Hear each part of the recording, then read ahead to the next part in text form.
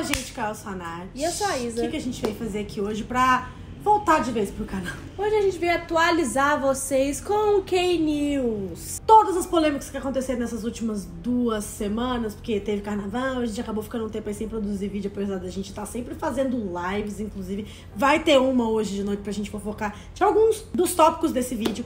Mas a gente vai falar sobre o alistamento do J-Hope sobre várias fofocas do mundo dos K-dramas, sobre a turnê do Suga do BTS, sobre o solo da Jisoo e do Jimin. Então fica até o final porque tem muita coisa que a gente vai cobrir que eu sei que vocês querem que a gente fale para vocês, conte nossa opinião. Então já se inscreve nesse canal se você gosta de K-pop, notícias, dramas, tudo sobre o universo asiático. Nós somos as meninas para vocês e ajuda a gente a chegar mais longe. 250k, essa é a nova meta. Comenta aqui pra esse vídeo chegar mais pessoas também, então engaja. Aqui do lado do joinha tem o Valeu Super Thanks, ajuda a gente, por favor. Sim, e vai continuar a ajudar a gente também lá nos nossos Instagrams.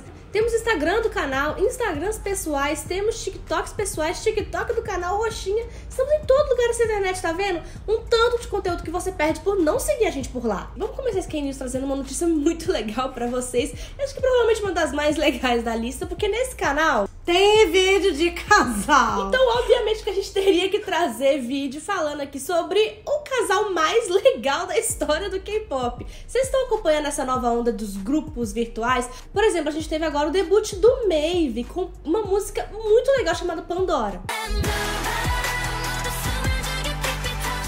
A gente também tem outros grupos virtuais, por exemplo, o Superkind, que é um boy group, e eles fizeram toda uma rede social para promover o Superkind, onde o Sunga, que é um dos integrantes, reage, né, a Nvidia K-pop, tal qual um Banchan do Stray Kids, e simplesmente ele é muito fã do Maeve. Ele sempre reage às meninas de uma forma muito, muito, muito real, parecendo realmente um idol de verdade. E cara, teve uma live Gente, de um idol virtual, isso é muito engraçado. onde ele foi perguntado sobre a integrante Zena do Maeve, ele ficou envergonhado. Seria isso a evolução do namoro virtual, da web namoro? Gente, a galera começou, tipo assim, a especular sobre um rumor de namoro entre idols artificiais. E até agora as empresas não comentaram nada, mas se sabe que o Sung é muito fã das meninas do meio. E aí, você chiparia essa, esse casal? Gente, apenas o K-pop pra dar essa alegria pra gente. Tem horas que o K-pop, sabe, brilha. Falando em brilhar, a gente teve a união de Brasil com Ásia na Fashion Week de Milão. Desde o ano passado, a Sasha já tem começado a se tornar o maior elo do Brasil com a Ásia, quando em um desfile com a Fendi ela sentou do lado da Son Hye Kyo com o Lee Ho. E agora a Sasha, filha da Xuxa, que tá fazendo trabalhos babadeiros como embaixatriz global da Fendi, foi para Milão junto com a nossa cantora Isa, belíssima Isa, e para promover a marca e tudo mais, várias pessoas foram chamadas e elas sentaram do lado da Yuki do The Idol. E não só isso, elas começaram a se seguir no Instagram e a trocar mensagens super fofas, tipo assim, te amo, irmã, nos vemos no show, irmã. Foi uma coisa muito doce, todo mundo apaixonado com essa interação. Você ficou feliz de ver a Xaxa, filha da Xuxa, com a nossa Yuki. A gente quer Yuki em Noronha, gente, junto com a Izzy e a Izzy no Waterbomb. Futuro Waterbomb no Brasil, se Deus quiser, com a Yuki. Vocês amaram? A gente já tá com a ideia toda pronta. Continuando de notícia boa, veio a notícia que ninguém acreditou, mas a igreja venceu. O solo da Jisoo tá chegando, ela já está gravando um MV que pelo visto vai ser o mais caro da história da YG. O orçamento vai ser babado e ela já está gravando em um lugar super secreto, ou seja, vem bomba por aí. O que, que vocês querem para essa sonoridade, para esse conceito? A gente gostaria que fosse uma coisa meio Umbrella da Rihanna, com a junção, sei lá, de um conceito tipo do Eyes One, do A-Pink. O que, que vocês acham? Comenta aqui pra gente o que, que vocês gostariam que esse debut trouxesse. Falando em debut, a gente, como Jimin Uted, estamos muito felizes em informar que Face está chegando. A internet foi macetada com notícias, né, pela Hype, de que o Jimin faria seu debut solo agora, em março, no final de março. E, cara, a gente já fez vários vídeos aqui no canal falando, né, mostrando nosso descontentamento com toda a administração da carreira do Jimin por parte da Hype. Mas, aparentemente, parece que tem alguém ali que tá vendo nossos vídeos, porque tem algo certo sendo feito nesse debut, gente. Eles já liberaram aí toda uma agenda pro Jimin de várias coisas que vão saindo. Os teasers, os teaser photos. Não vai ter só um, mas dois MVs, vai ter um pre-single, vai ter um single. Tem muita gente acreditada nesse trabalho, como o Jimin Como R.M. Tem vários outros produtores que a gente também já conhece. Tem outras coisas legais desse álbum também, como o lançamento de Promise nas versões ali oficiais do Spotify, não só no SoundCloud, que é um presente pros fãs. A gente tá muito animado. Outra coisa legal é que nós já sabemos os nomes dos singles, do per single e do single oficial. O per single vai se chamar Set Me Free Parte 2, que com certeza vai ter alguma ligação com Set Me Free, que é a interlude do D2, que foi a segunda mixtape do August D. Vulgo Suga. E a title vai se chamar Like Crazy. E além da versão em coreano, a gente vai ter também uma versão em inglês. Ele vai se arriscar no inglês, gente. Estamos amando, estamos muito animados para ver o que, que ele vai trazer pra gente. Finalmente a gente sabe o que, que ele tava fazendo o tempo todo nos Estados Unidos naquelas épocas ano passado. Era o álbum, gente. E vocês estão percebendo que a gente só tá tendo notícia boa nessa primeira parte desse news? Pois vamos continuar assim, porque vamos entrar numa parte muito interessante de turnê. Vocês conseguem ouvir os nossos gritos, porque foi anunciado que Suga como August D vai ter a sua primeira turnê mundial. Sim, gente, ele vai ser o primeiro membro do BTS a fazer uma turnê solo. Várias datas já foram anunciadas nos Estados Unidos, na Ásia, já foi anunciado Coreia, ainda tem Japão para ser anunciado. Será que podemos ter a possibilidade dele pisar em solo brasileiro? Novas datas, por favor. E outra turnê babadeira que tá todo mundo ansiosíssimo é a Ready to Be do Twice, turnê mundial que vai rodar vários lugares do mundo, Ásia, Estados Unidos e só lugar pica, gente. Nós vamos pisar simplesmente no SoFi Stadium, onde foi o show do BTS em Los Angeles, para mais de 80 mil pessoas esse lugar cabe. E elas também vão fazer show no MetLife Stadium em Nova York, que também cabe mais de 80 mil pessoas.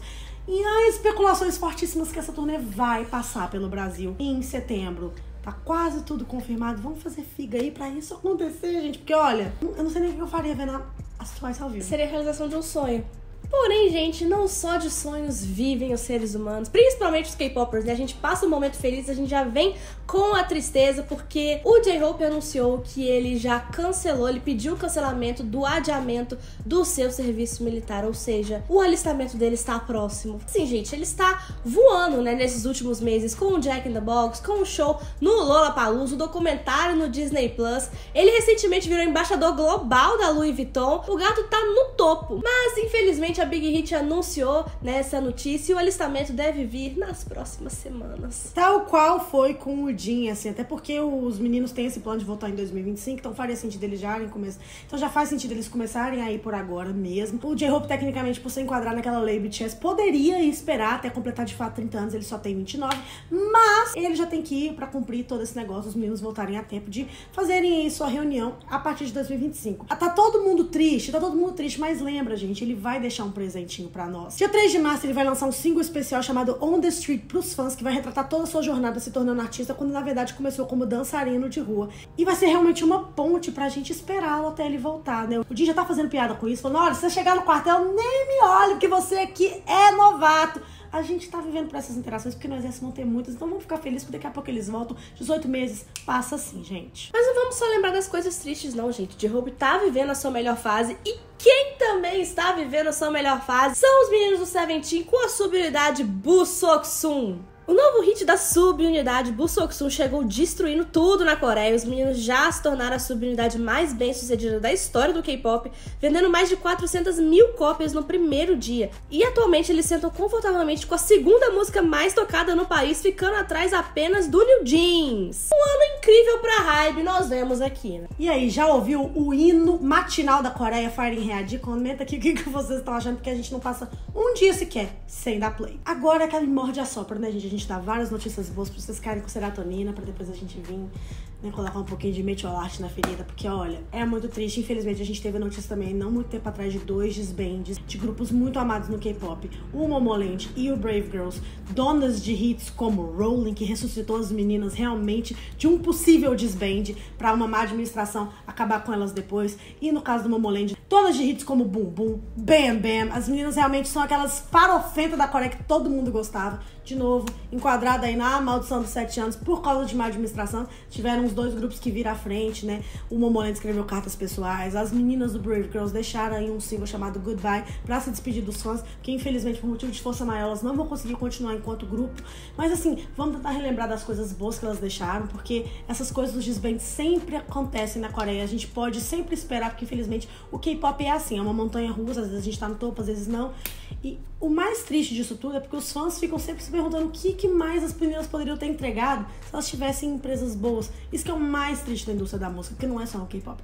Todo mundo que é fã passa por isso de ver, às vezes, nossos artistas preferidos e mais amados na mão de pessoas que não dão valor para essa arte. Espero que os fãs fiquem bem e comentem o que, que vocês acharam de tudo isso que aconteceu com os dois grupos. Continuando de notícias ruins, a gente tem que contar o absurdo que rolou com a Rosé, envolvendo também um drama chinês. O drama chinês Justiça no Escuro usou uma foto editada da Rosé em uma cena que os personagens estão procurando por serviços de garotas de programa em uma plataforma virtual. Os fãs ficaram revoltados, eles protestaram muito, levantaram diversas hashtags no Twitter exigindo respeito pela Rosé. E obviamente, gente, porque foi muito absurdo eles terem deixado isso tudo passar, foi muito amador.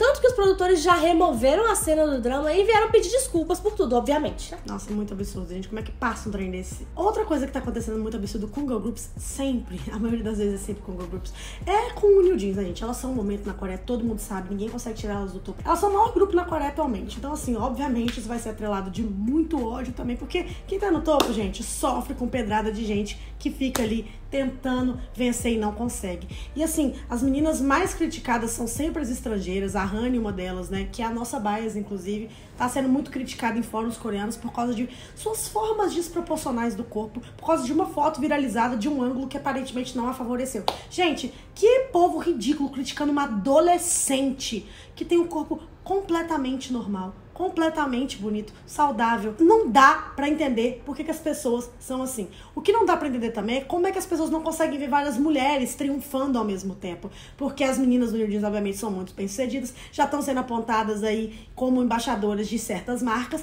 E a Mindy, que é uma das mais populares do grupo, foi apontada como a nova embaixadora global da Chanel. Quem também é embaixadora global da Chanel? Jenny do Blackpink. Aparentemente, a Chanel não pode ter vários embaixadores e embaixatrizes. Eles têm que ter só uma. Só uma pessoa. E não é assim que funciona, né? Porque, tipo, não é só a Jenny que é embaixadora da, da Chanel, tem várias outras pessoas também. E assim com todas as marcas. Então, por que, que vocês estão rivalizando, né? As pessoas na internet, na Coreia, fazendo matérias tendenciosas, rivalizando uma com a outra? Ah, eles estão colocando essas novinhas agora pra aposentar de vez as velhas do Blackpink. Gente, parem de ser etaristas, de achar que mulheres estão chegando perto dos seus 30 anos, ou que já passaram dos seus 30 anos, ou dos seus 40, ou dos seus 50, não podem continuar no topo. Gente, parem com isso. Me dá, me dá uma irca Uhum. gigantesca. Enfim, bora pra outras notícias, porque, olha, já deu, já deu. Tem várias mulheres que podem ficar no topo simultaneamente. Aprendam. E que a gente começou a fazer esse K-News aqui no canal, não tem um vídeo que a gente não fale sobre o ator Lee Sang-gi. Né? Todo mundo acompanhou toda a polêmica que envolveu o nome dele quando ele processou a sua empresa por ter lesado ele financeiramente durante todos os seus anos de carreira. Então todo mundo já acompanhou isso aí, mas mal sabíamos nós que a vida amorosa dele também se tornaria uma polêmica gigantesca na Coreia. Já tem um tempo que ele anunciou seu relacionamento com a Idain, que também é atriz, irmã da Yubi, também atriz, as duas são Nepo Babies.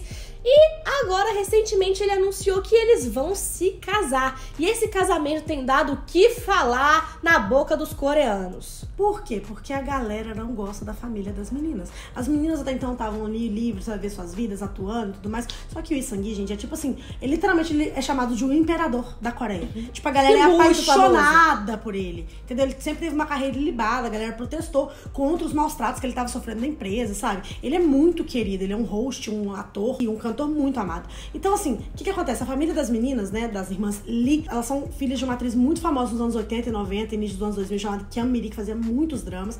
E, infelizmente, ela se casou com um Chebon, um homem muito rico, que tá sendo investigado, possivelmente pode ir pra cadeia por ter, talvez, feito desvio de dinheiro de pessoas inocentes, enfim, enganar pessoas em esquemas fraudulentos. Por causa disso, toda a família sempre é muito criticada. E porque o Isangui é muito amado, tem muitos fãs, estar se casando com uma dessas meninas que são parte dessa família, que as pessoas têm muito pé atrás, a galera está puta. Tanto que a Kiamiri, futura sogra dele, veio fazer uma carta falando: gente, antes era só eu e minha família, a gente não pode falar o que de fato aconteceu. Tem muitos mal entendidos nessa história, mas tá discorrendo com segredo de justiça. Mas ver a galera atacando as minhas filhas, o meu futuro genro, que não tem nada a ver com isso, por favor, deixem eles em paz. A nossa opinião é que, tipo assim, a gente entende o descontentamento de certas pessoas, principalmente com famílias que são muito problemáticas. Só que as meninas não têm nada a ver com isso. Elas eram crianças quando isso tudo aconteceu, tipo, sabe? E muito menos o Isangui, sabe? Ele só tá apaixonado por uma das meninas. Ele não tem nada a ver com essa história, sabe? E isso respingou até no Yu Jesuke, sabe? Aquele o MC da nação, que trabalha muito com isso em diversos programas de variedades. Bom,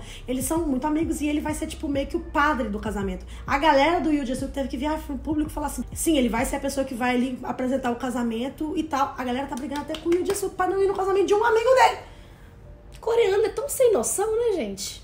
Bom dia. Continuando no mundo dos dramas, quem também tá em maus lençóis com a Coreia é o protagonista de Chicago Typewriter, Yoo A-in. O portal Hankook Ilbo noticiou que o ator testou positivo para o uso de maconha e ele foi submetido a um teste de urina após autoridades abrirem uma investigação sobre o uso de Propofol. O Ministério de Segurança de Alimentos e Drogas descobriu que ele vem usando o Propofol desde 2021 e que ele já usou a substância mais de 72 vezes. Para quem não sabe, o medicamento ele é um forte sedativo e se usado em alta quantidade pode levar até a morte. Ele está impedido de sair do país, está colaborando com mais investigações, aparentemente surgiu até uma terceira né, substância possível que eles vão investigar de que qual seja no seu sangue. A Netflix, como tem muitos trabalhos alinhados com o Yuain, lançou uma nota dizendo que vai acompanhar direitinho essa história e talvez ele perca jobs, gente. Olha, o que vocês acham dessa história toda? Comenta aqui. A partir de agora é só SM até o final do vídeo. Tem muita coisa acontecendo nessa empresa, a gente precisa comentar. E uma delas é o fim do NCT, o NCT vai acabar? Não, não vai acabar. O que vai acabar é a expansão do NCT. Porque todo mundo sabe que o NCT é um grupo rotativo e um grupo que foi idealizado para estar tá sempre entrando mais trainees para compor as suas diversas subunidades. Nesse momento nós temos 26 integrantes e a SM anunciou que vamos parar por aí com o lançamento do NCT Tóquio. Atualmente a gente estaria então, junto com a NCT Tóquio, com cinco subunidades: a NCT U, a One to Seven, a NCT Dream, o AV e agora o NCT Tóquio, né? Então, assim, com a adição dos meninos que chegaram agora da SM Rookies e tal, eles vão parar por aí. Então, assim, espere o lançamento do NCT Tóquio algum momento esse ano. E o NCT, como a gente esperava que fosse ser, chegou ao fim. Eu tô muito feliz porque. Eu também. É isso, eu já me peguei a todos os 26 eu e é sobre. que deu o que tinha que dar já. Continuando de SM, o Hichu do Super Junior fez uma live com o BJ Chue na Africa TV e ele falou muita coisa e acabou sendo canceladíssimo. Foi no início desse mês, ele falou algumas coisas que despertaram bastante ódio nos coreanos, mexeu com feministas, falou do Japão, falou. Defendeu o Kangin, que é o ex-membro do Super Junior, que dirigiu embriagado. Falou até deu nu. Mexeu até com o feno dos outros. Depois ele chegou a emitir um pedido de desculpas, falando assim, ó, oh, desculpa se eu ofendi alguém, não era minha intenção. A galera continuou assim com o pé atrás, mas ele já tinha sido cancelado dessa forma antes. A galera ali na hora da live ficou até meio assim, meu Deus, deu um mute, cancelaram a live na hora que ele começou a falar ali o que a galera julgava como algo errado. O que, que você acha dessa história, gente? Olha. É, é isso, homens mais velhos. Né? Complicado, né? coreano ainda. É, mas tem gente que o defende, fala que ele tá falando mal de grupos que perseguiam pessoas como a Sully do FX.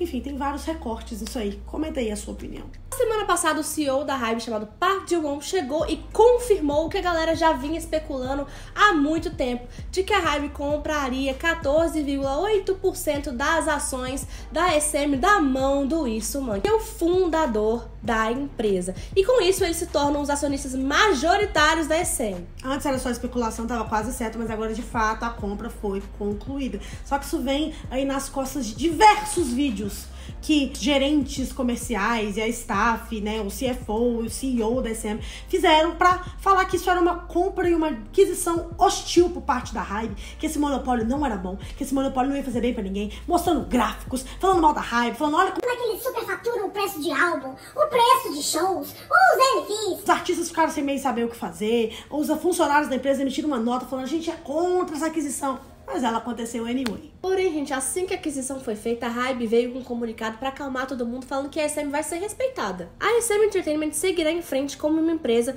com uma estrutura de governança exemplar e uma empresa que prioriza os direitos e interesses de acionistas. A visão da Hybe de se tornar a melhor empresa de entretenimento do mundo, com base na música e a direção da SM 3.0, que afirma se tornar uma empresa de entretenimento global centrada em fãs e acionistas, estão alinhadas. Apoiamos ativamente o conteúdo exclusivo da SM Entertainment para que ela possa liderar as tendências globais usando o modelo de negócios e as capacidades de rede da Hybe como um trampolim. Ou seja, o que eles pretendem fazer é continuar com os artistas sendo gerenciados do jeito que são, com os aparatos que a Hybe já tem para tornar todos esses artistas ainda mais globais. Agora, o que eles pediram é que a SM abra espaço para acionistas minoritários terem mais voz também, para não ficar só na mão dos poderosos as decisões. Todo mundo tem um pouco de dizer ser um pouco mais democrático, o ambiente de escolhas da SM é a única coisa que eles falaram, mas eles prometeram aí deixar a SM, né, realmente tendo a sua autonomia como sempre foi. Chegou até a surgir comentários na internet, né, de artigos e tudo mais,